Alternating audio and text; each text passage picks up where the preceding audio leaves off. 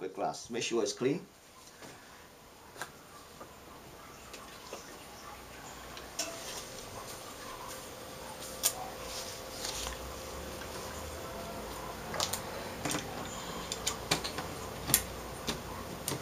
Again, you have to make sure four corners, the glasses, the liquid glass sit inside the plastic film. See like this one's not all the way. So, hold it.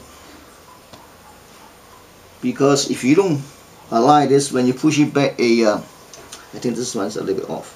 When you push it back a, uh, the metal cover, you're gonna crack the corner of the liquid glass. There will be a big, big problems. Okay. Looks good. Looks good. So, you're gonna do this thing.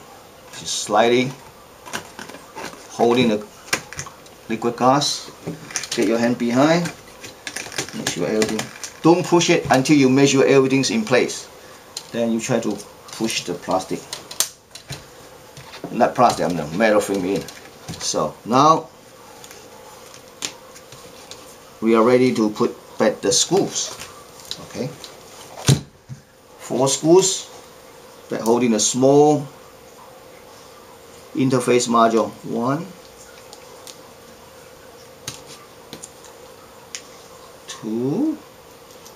Well, I don't need to play off, so let me take it out. It's much easier for me to to put the smaller screws here.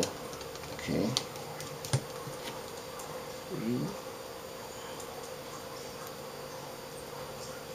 Oops, this screw is so tiny.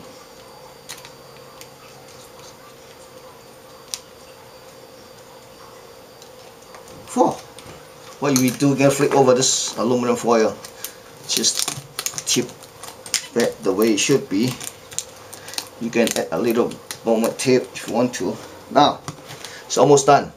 We're gonna secure this wire and then put a uh, aluminum foil to cover that that hole so make sure the lights won't bleed in now so just stick you see this a okay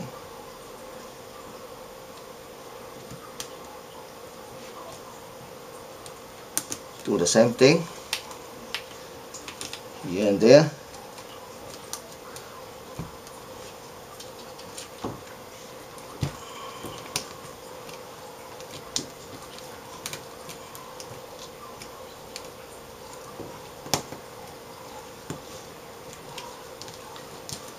See mounting it back like original. Okay do the same thing on this side. Okay go underneath underneath this is black wire.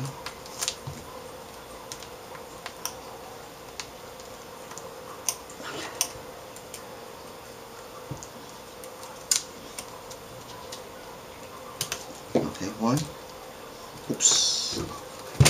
One is here.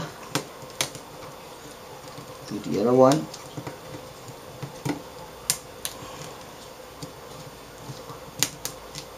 put it back. Back. Okay. Here's what I'm gonna do. I'm not gonna reuse that uh, I'm not gonna reuse this plastic again. Uh, I'm gonna use a little bit strong tips that we have here.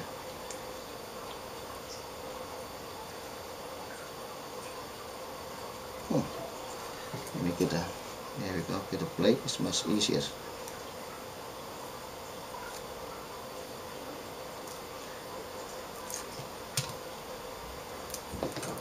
Make sure it secures. Alright, let's get the other one.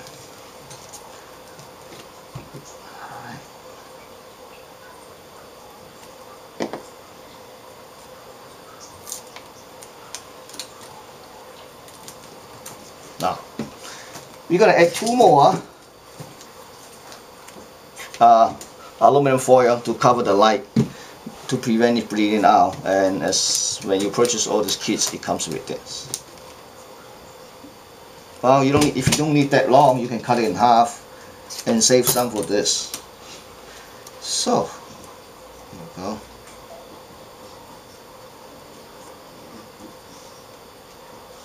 This thing's sometimes difficult to go. One. Okay, see that?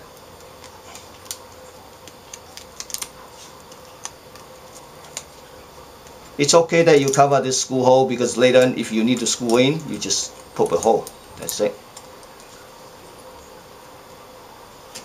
One's done. The other one that I oh here, just cut it off.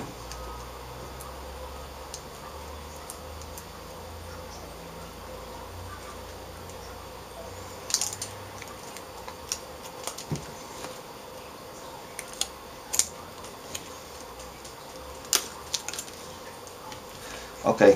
Well you still if you still have some of this you can put it back like here and here. Here's what I'm gonna do. Cut in half. Alright.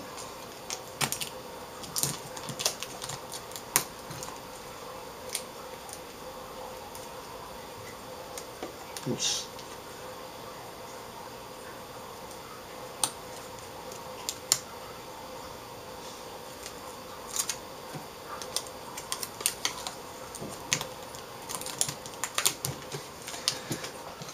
it's done.